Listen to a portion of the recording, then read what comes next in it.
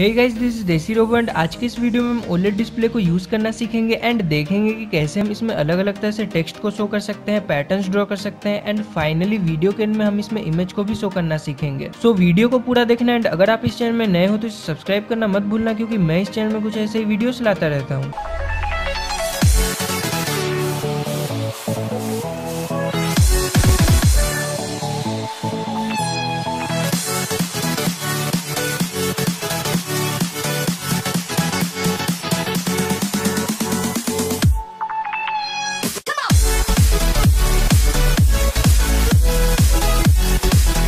So video को शुरू करते हुए सबसे पहले हम देखते हैं अलग अलग तरह के ओलेट डिस्प्ले को। सो यहाँ पर मेरे पास ये दो ओलेट डिस्प्ले है अलग अलग साइज़ का, जिसमें से पहला 128 ट्वेंटी इंटू थर्टी पिक्सल्स का है, यानी कि इसमें 128 हॉरिजॉन्टल पिक्सल्स के 32 रोज है। जबकि ये दूसरा वाला 128 ट्वेंटी एट इंटू पिक्सल्स का है, यानी कि इसका हाइट पहले वाले का डबल है। अब यहाँ पर ये दोनों ही display I two C OLED display है, यानी कि हमारे आरडीओ को I two C communication protocol का यूज़ करके इनसे कम्युनिकेट करना पड़ेगा। लेकिन आपको मार्केट में एसपीआई ओलेट डिस्प्ले भी देखने को मिल जाएगा। बट क्योंकि मेरे पास ये आई वाला सेट अवेलेबल है सो आज मैं इन्हें ही यूज़ करना सिखाऊँगा। एंड अगर मैं इन फ्यूचर एस वाला मॉडल परचेस करता हूँ तो मैं उनके लिए अलग से वीडियो बना दूँगा। सो अब हम कुछ और बेसिक चीज़ों को जानते हुए आगे बढ़ते हैं, जैसे की ओलेट का मतलब ऑर्गेनिक लाइट एमिटिंग डायोड होता है एंड इस डिस्प्ले को किसी भी तरह के बैकलाइट का ज़रूरत नहीं होता। क्योंकि इसके पिक्सल्स खुद ही विजिबल लाइट एमिट करते हैं एज ए रिज़ल्ट ये काफ़ी थिन एंड लाइट होता है एंड बहुत कम पावर कंज्यूम करता है as compare to liquid crystal display so I hope सबको इन ओलेट डिस्प्लेस के बारे में थोड़ा सा आइडिया हो गया होगा एंड अब हम देखते हैं कि इसे आर्डिनो के साथ कनेक्ट कैसे करें। सो so, मैंने इस बड़े वाले ओलेट को होल्ड किया है एंड छोटे वाले का कनेक्शन भी इसके जैसा एज इट इज़ सेम होगा। लेकिन आपको हमेशा ये कंफर्म कर लेना है कि आप जिस पर्टिकुलर ओलेट का यूज़ कर रहे हो उसका वोल्टेज और लॉजिक वोल्टेज लेवल क्या है? जैसे की ये दोनों डिस्प्ले फाइव वोल्ट लॉजिक को सपोर्ट करते हैं अदरवाइज़ आपका ओलेट खराब हो सकता है। सो so, यहाँ पर आपको चार पिन देखने को मिल रहा है जिसका यूज़ करके हम इसे आर्डिनो के साथ कनेक्ट करेंगे एंड अगर मैं इसे हल्का सा टिल्ट करूँ तो ये जो आपको थोड़ा सा सेडेड टाइप का देखने को मिल रहा है, ये इसके पिक्सल्स हैं। अब अगर हम इसके बैक को देखें तो यहाँ आपको एक छोटा सा रजिस्टर देखने को मिलेगा एंड इस रजिस्टर के पोजीशन को चेंज करके, यानी कि अगर हम इस रजिस्टर को इन दो पॉइंट से हटा के, इन दो पॉइंट के बीच में लगा दें तो इसका एड्रेस चेंज हो जाएगा। अब हर I two C slave device के पास एक एड्रेस होता है एंड अगर आपने दो सेम टाइप के डिस्प्ले को अपने प्रोजेक्ट में यूज़ किया एंड उनका एड्रेस चेंज नहीं किया तो दोनों डिस्प्ले में सेम डाटा शो होने लगेगा एंड इसीलिए हमें ये रजिस्टर प्रोवाइड किया गया है ताकि हम इसके एड्रेस चेंज कर पाए। सिमिलरली अगर हम इस 128 ट्वेंटी थर्टी रेजोल्यूशन वाले मॉड्यूल को देखें तो यहाँ हमें कोई भी ऑप्शन नहीं देखने को मिलेगा एड्रेस चेंज करने के लिए जिसका मतलब है कि हम इसके एड्रेस को चेंज नहीं कर सकते। सो so, अब अगर हम इसके पिन को देखें तो पहले के दो पिन ग्राउंड एंड वीसीसी है जिसे हम आर्डियो के ground and plus five volt output के साथ कनेक्ट कर सकते हैं। एंड इसके बाद है एस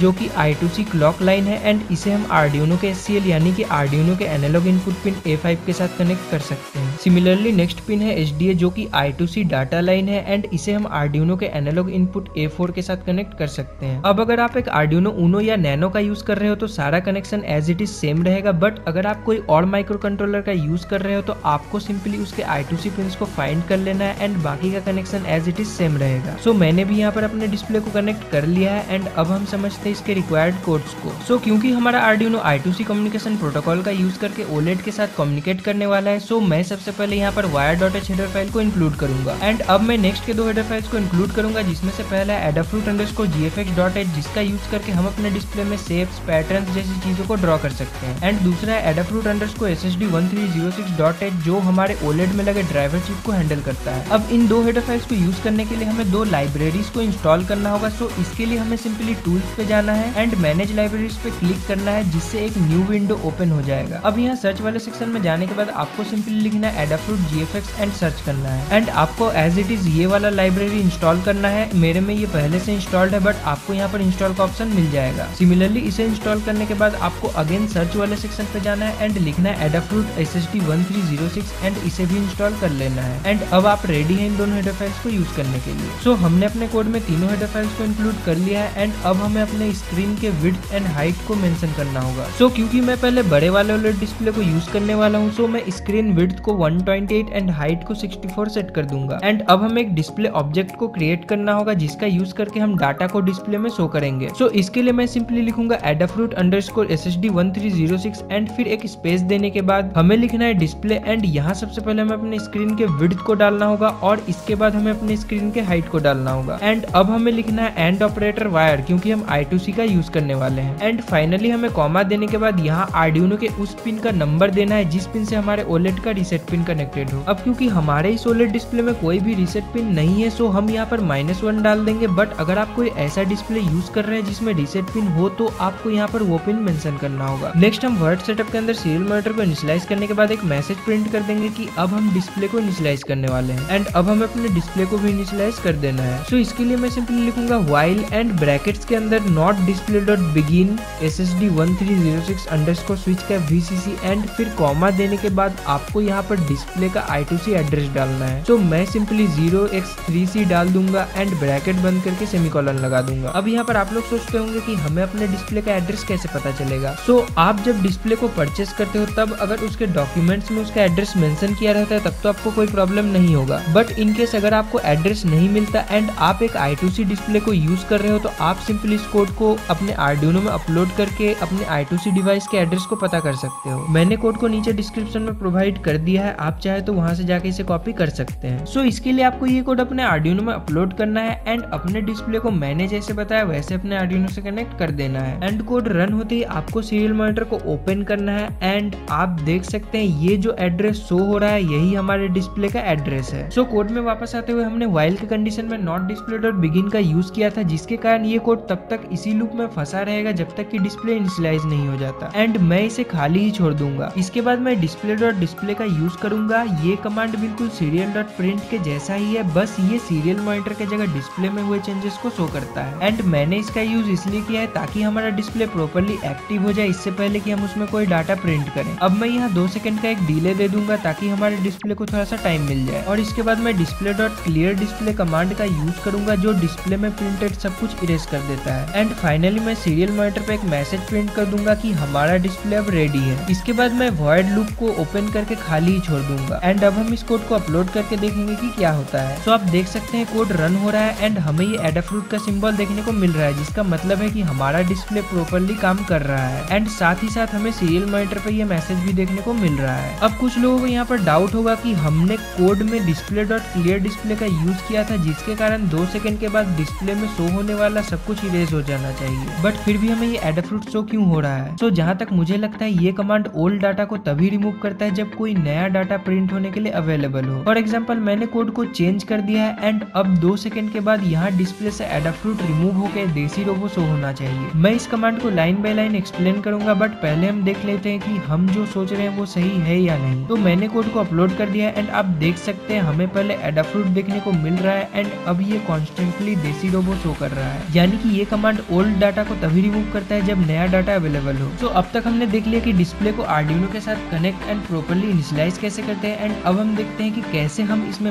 को प्रिंट कर सकते हैं। सो so, हमने कोड को यहाँ पर छोड़ा था एंड अब हम सीधे वर्ड लुक में चले जाएँगे। मैं सबसे पहले फिर एक बार डिस्प्ले डॉट क्लियर डिस्प्ले का यूज़ करूँगा डिस्प्ले को क्लियर करने के लिए एंड इसके बाद मैं टेक्स्ट के साइज़ को सेट करूँगा। सो so, इसके लिए मैं सिंपली लिखूँगा display dot set text size and यहाँ आप वन से लेके एट तक के वैल्यूज़ यूज़ कर सकते हैं। तो मैं सिंपली टू डाल दूँगा बट आप अलग अलग वैल्यूज़ को डाल के ट्राई कर सकते हैं। नेक्स्ट हमें अपने टेक्स्ट के कलर को सेट करना पड़ेगा। सो so, इसके लिए मैं सिंपली लिखूँगा display dot set text colour and यहाँ मैं व्हाइट लिख दूँगा। अब आप चाहे किसी भी कलर का ओलेड डिस्प्ले यूज़ कर रहे हो आप सिंपली व्हाइट डाल सकते हो जिससे आपका डिस्प्ले खुद ही उसके डिफ़ॉल्ट कलर में आउटपुट शो करने लगेगा। नेक्स्ट हमें टेक्स्ट के लोकेशन को मेंशन करना होगा। सो so, इसके लिए मैं सिंपली लिखूँगा display dot set cursor and यहाँ मैं ज़ीरो टेन डाल दूँगा जिसका मतलब है हॉरिजॉन्टली ज़ीरो पिक्सल से एंड वर्टिकली टेंथ पिक्सल से हमारा टेक्स्ट प्रिंट होना शुरू होगा। फाइनली मैं डिस्प्ले डॉट प्रिंट का यूज़ करके अपने मैसेज को प्रिंट कर दूँगा। आप अपने अकॉर्डिंग यहाँ कुछ भी डाल सकते हैं। एंड इसके बाद मैं अगेन डिस्प्ले डॉट डिस्प्ले का यूज़ करूँगा ताकि हमारा डिस्प्ले नए डाटा से अपडेट हो जाए। तो हमारा कोड रेडी है एंड मैं इसे सिंपली अपलोड कर दूँगा। एंड आप देख सकते हैं हमें मैसेज शो होने लगा है। सो so, ये तो था नॉर्मल टेक्स्ट का एग्ज़ाम्पल बट हम इसी टेक्स्ट को अलग अलग तरीके से कैसे शो कर सकते हैं? फॉर एग्ज़ाम्पल मैंने आपको वीडियो को स्टार्टिंग में जैसा दिखाया था। सो so, इसके लिए मैं यहाँ पर डिस्प्ले डॉट डिस्प्ले के बाद एक और कमांड का यूज़ करूँगा। सो so, इसके लिए मैं सिंपली लिखूँगा display dot start scroll right and bracket के अंदर मैं कुछ ऐसा लिख दूँगा एंड सेमी लगा दूँगा। एंड इसके बाद मैं एक फाइव सेकंड का डिले दे दूँगा। फिर उसके बाद मैं लिखूँगा डिस्प्ले डॉट स्टॉप स्क्रोल जिससे ये टेक्स्ट वापस नॉर्मल हो जाएगा एंड मैं फिर से एक फाइव सेकंड का डिले दे दूँगा। सो कोड रेडी है। चलिए इसे अपलोड करके देखते हैं कि क्या होता है। सो so, हमारा कोड अपलोड हो गया है एंड आप देख सकते हैं हमारा जो टेक्स्ट है वो पहले मूव कर रहा है एंड फाइव सेकंड के बाद इसने मूव करना बंद कर दिया है। सो आई होप सबको आइडिया हो गया होगा कि इन ओलेड डिस्प्ले में डाटा को शो कैसे करते हैं एंड आप चाहे तो किसी सेंसर के डाटा को जैसे कि टेम्परेचर ह्यूमिडिटी जैसी चीज़ों को इन डिस्प्ले में शो कर सकते हैं। अब अगर हम इस बड़े वाले डिस्प्ले की जगह छोटे वाले का यूज़ करें तो हमें सिंपली कोड में डिस्प्ले के हाइट को चेंज करना होगा। सो मैं इसे भी अपलोड करके दिखा देता हूँ। तो आप देख सकते हैं कैसे ये एज इट इज़ सेम काम कर रहा है। सो इन्हें छोड़ के और भी कई तरह के टेक्स्ट एनिमेशन अवेलेबल है। मैंने नीचे डिस्क्रिप्शन में अपने ब्लॉग का लिंक दे दिया है। आप चाहे तो वहाँ से उन्हें चेक कर सकते हैं। एंड अब हम देखते हैं कि कैसे हम कुछ शेप्स को डिस्प्ले कर सकते हैं। सो so, सबसे पहले हम एक पिक्सल को प्रिंट करके शुरू करेंगे। तो वर्ड सेटअप तक का कोड बिल्कुल सेम है जैसा हमने पहले किया था। एंड मैं सीधे वर्ड लुक में जाऊँगा एंड सबसे पहले डिस्प्ले को क्लियर करने का कमांड लिखूँगा। इसके बाद मैं सिंपली लिखूँगा display dot draw pixel and bracket के अंदर सबसे पहले हमें अपने हॉरिजॉन्टल पिक्सल का लोकेशन देना है। तो मैं सिंपली टेन डाल देता हूँ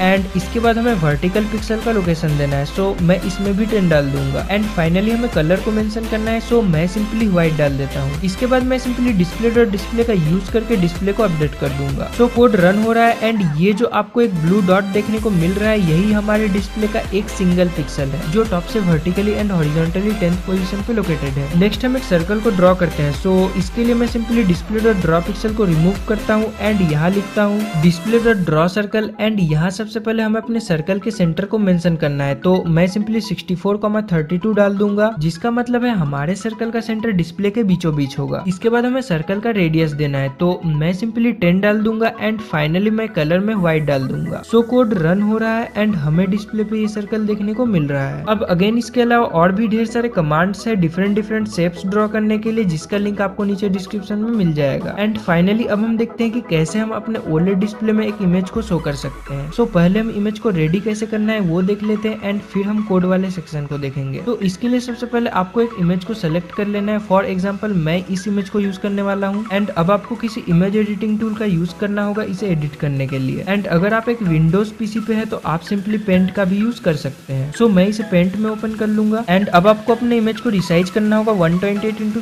में क्योंकि हमारे बड़े वाले डिस्प्ले का रिजोल्यूशन वही है। सो so, मैं सिंपली इसे रिसाइज कर लूँगा एंड इससे हमारे इमेज का रेजोल्यूशन काफ़ी डाउन हो जाएगा जैसा कि आप देख सकते हैं। फाइनली आपको इस इमेज को मोनोक्रोम बिटमैप के फॉर्मेट में सेव कर लेना है। तो मैं भी इसे सेव कर लेता हूँ एंड आप देख सकते हैं कि ये जो इमेज है ये डार्क ब्लैक एंड व्हाइट में कन्वर्ट हो गया है। आप चाहे तो अपने इमेज को कन्वर्ट करने से पहले थोड़ा और एडिट भी कर सकते हैं बेटर लुक के लिए जैसा कि मैंने अपने इमेज के साथ किया है। एंड फाइनली अब आपको किसी भी तरह का image to C array converter tool का यूज़ करके इमेज को बिटमैप में कन्वर्ट कर लेना है। सो so, मैं यहाँ इस ऑनलाइन टूल का यूज़ करने वाला हूँ जिसका लिंक आपको नीचे डिस्क्रिप्शन में मिल जाएगा। तो हमें यहाँ सिंपली चूज़ फ़ाइल पे जाना है एंड उस इमेज को सेलेक्ट कर लेना है जिसे हमने जनरेट किया था। एंड फ़ाइल चूज़ करते ही आपको यहाँ नीचे ये कोड शो होने लगेगा एंड आपको ये कोड सिंपली कॉपी कर लेना है एंड एक फ़ाइल में सेव कर देना है क्योंकि हम इसे अपने कोड में यूज़ करने वाले हैं। सो so, हमने अपने इमेज को बिटमैप में कन्वर्ट कर लिया है एंड अब हम देखते हैं इसके कोड को। तो इसके लिए सबसे पहले हमें यहाँ डिस्प्ले ऑब्जेक्ट क्रिएट करने के बाद एक कैरेक्टर एरे क्रिएट करना होगा। सो so, मैं इसे सिंपली क्रिएट कर लूँगा। एंड हमने यहाँ प्रोग्राम कीवर्ड का यूज़ किया है जिससे हमारे इमेज का बिटमैप सीधे आर्डिनो के फ्लैश मेमोरी में स्टोर हो जाएगा। सो so, अभी के लिए मैं इसे खाली छोड़ देता हूँ क्योंकि हम इसे एंड में फिल करेंगे। नेक्स्ट में वर्ड सेटअप में एज इट इज़ डिस्प्ले को इंसलाइज होने दूँगा एंड यहाँ से हम अपने आगे के कोड को लिखेंगे। सो बिटमैप को शो करने के लिए मैं सिंपली लिखूँगा display dot drop bitmap and अब आपको यहाँ पर अपने इमेज का स्टार्टिंग कोऑर्डिनेट देना है। सो so, मैं सिंपली ज़ीरो कॉमा ज़ीरो डाल दूँगा। इसके बाद हमें उस एरे का नाम देना है जिसमें हमने बिटमैप को स्टोर किया था। तो मैं सिंपली कार्ड डाल दूँगा क्योंकि आगे हम उसी में अपने बिटमैप को स्टोर करने वाले हैं। इसके बाद हमें अपने इमेज के रेजोल्यूशन को मेंशन करना है। सो मैं सिंपली 128,64 डाल दूँगा। एंड फाइनली हमें रोटेशन डालना है। सो मैं सिंपली वन डाल दूँगा एंड सेमीकॉलन लगा दूँगा। फाइनली मैं डिस्प्ले डॉट डिस्प्ले का यूज़ करूँगा ताकि इमेज शो होने लगे। सो हमारा कोड लगभग रेडी है एंड अब हमें बस अपने बिटमैप को एरे में डालना है। तो इसके लिए आपको वो फ़ाइल ओपन करना है जिसमें हमने अपने बिटमैप को स्टोर किया था एंड आपको यहाँ इस एरे के अंदर के डाटा को कॉपी करना है। एंड हमारे कोड में आके अपने एरे के अंदर पेस्ट कर देना है। सो हमारा कोड रेडी है एंड चलिए देखते हैं इसे रन करने पे क्या होता है। सो हमारा कोड रन हो रहा है एंड आप देख सकते हैं किस तरह से हमारा इमेज इस डिस्प्ले में शो हो रहा है। मैंने सभी कोड्स का लिंक नीचे डिस्क्रिप्शन में दे दिया है। आप चाहे तो वहाँ जाकर उन्हें चेक कर सकते हैं। सो आशा करता हूँ आप लोगों को वीडियो अच्छा लगा होगा एंड आपने कुछ ना कुछ नया ज़रूर सीखा होगा। सो अगर वीडियो अच्छा लगा तो इसे लाइक करो एंड चैनल को तो सब्सक्राइब क्योंकि मैं इस चैनल में कुछ ऐसे वीडियोस लाता रहता हूँ।